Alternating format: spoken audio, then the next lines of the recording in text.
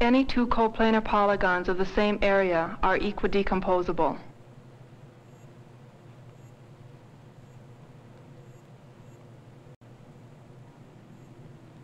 This means that each can be cut into a finite number of pieces, which can then be reassembled to form the other.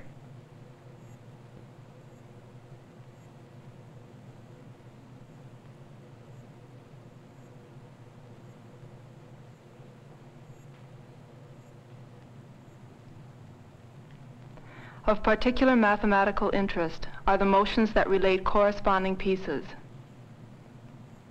We will examine the way in which each piece is moved from its place in one polygon to its place in the other. For instance, in Dudeney's famous dissection of the square and the equilateral triangle, the motions are just translations and half-turns. Half-turns are 180 degree rotations.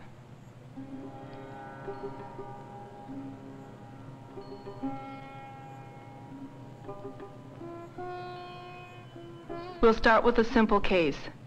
Two parallelograms of equal area having a side in common.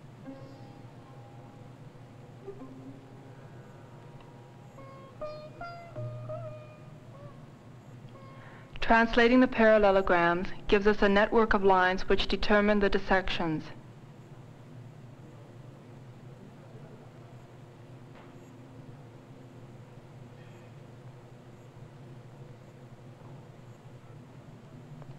Now, the pieces of one parallelogram can be translated to form the other. In this case, translations are enough. We say that the two parallelograms are T-equivalent, T for translation.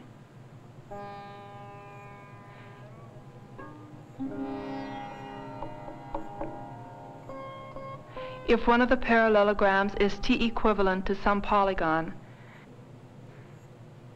then we have two ways of dissecting this parallelogram.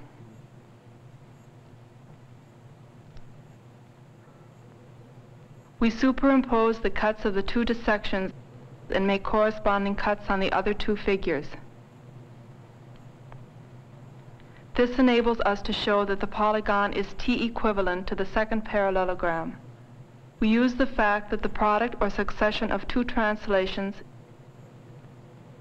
is also a translation. In this case, T-equivalence is transitive. In the same way, we can prove that T-equivalence is always transitive. Now let's consider two parallelograms of equal area anywhere in the plane. Intersecting strips determined by the two given parallelograms form a parallelogram, a diagonal of which provides the clue for the dissections.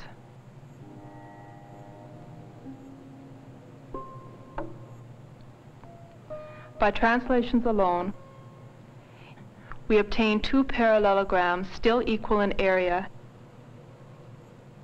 and with a side in common. After superimposing the cuts where the parallelograms overlap, we can proceed as before, obtaining the rest of the dissection. These two parallelograms are T-equivalent. So by the transitivity of T-equivalence, the two original parallelograms are T-equivalent. This shows that a parallelogram is always T-equivalent to another parallelogram of equal area.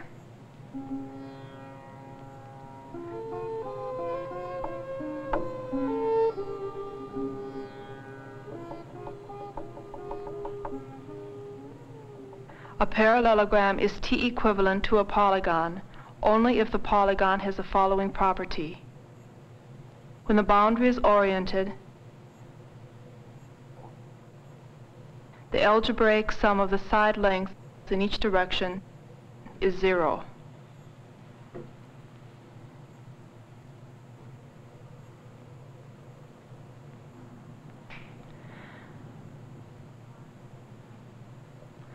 A triangle doesn't have this property, so no triangle is T-equivalent to a parallelogram. But by a single cut, followed by a half turn, the triangle can be converted into a parallelogram which is T equivalent to any other parallelogram of equal area.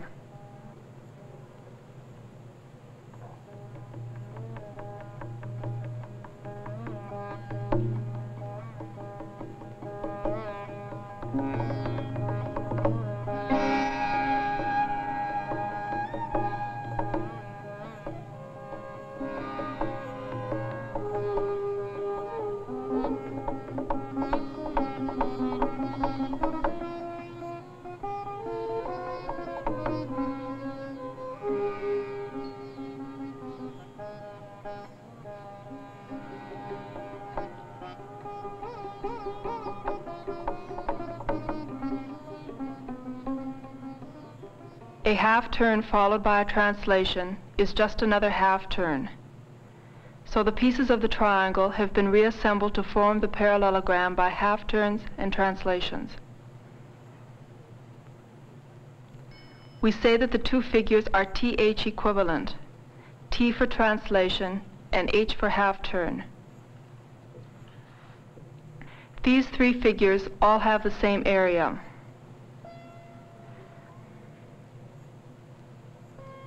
The triangle can be cut into pieces which by translations and half-turns form the trapezoid. The triangle and the trapezoid are TH equivalent. The trapezoid and the parallelogram are also TH equivalent.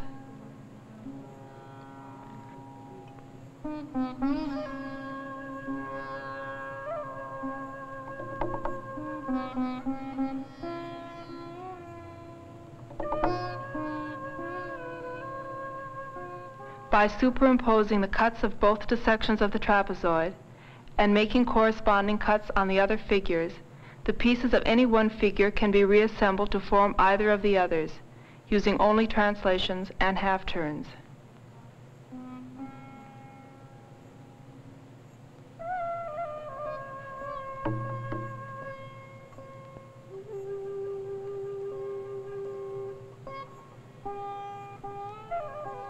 Since products of these motions yield only translations and half-turns, corresponding pieces of the triangle and the parallelogram are related by translations and half-turns alone.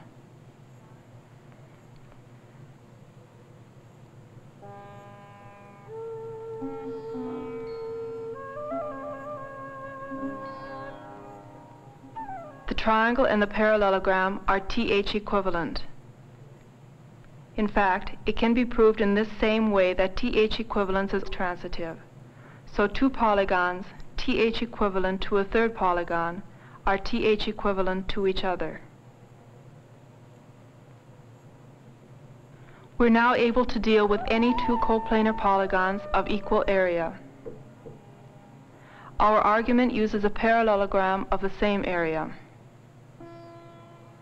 First, Dissect one of the polygons into triangles. Then dissect the parallelogram into smaller parallelograms in such a way that there is a one-to-one -one correspondence between the smaller parallelograms and the triangles, corresponding pieces having equal area. Since their areas are equal, corresponding triangles and parallelograms are TH equivalent, so the complete polygon and the composite parallelogram are TH equivalent.